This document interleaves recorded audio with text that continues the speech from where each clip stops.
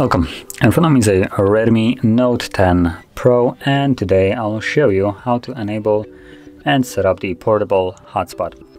And to get started, let's pull down the notification panel and find the toggle for it, which for me looks to be oh, right over here, hotspot.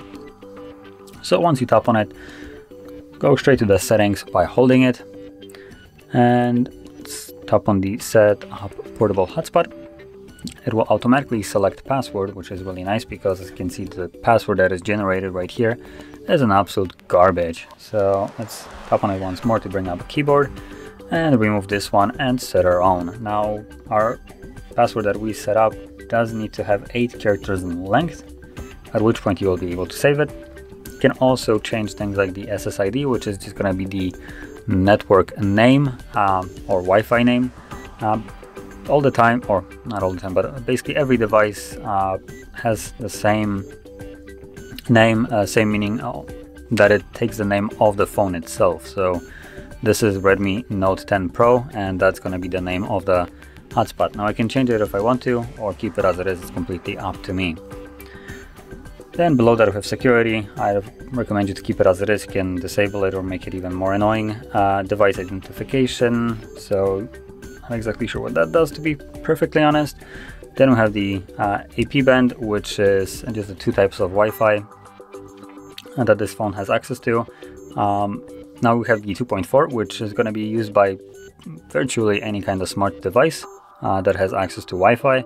And then we have the 5 gigahertz Wi-Fi, which is going to be faster and more stable of a connection, but devices that don't support it simply will not see uh, hotspot at all. Now, I would recommend you to change it to 5 gigahertz and at least check if your device supports it or not. If it does, then you can simply connect to it with the password. Um, if it doesn't, you won't see it and all you need to do is go back on this device, change it back to 2.4 and everything should work just as well. But the benefit of 5 gigahertz Wi-Fi is just going to be better over the 2.4, so that's why I recommend you just to check it at least and then hide its SSID. I wouldn't recommend doing that. It will hide the name of it, so then you will have to go down to the list and basically add it manually. Now anyway, once you have set it all up, tap on the checkmark to save the settings and find the toggle once more and simply enable your hotspot.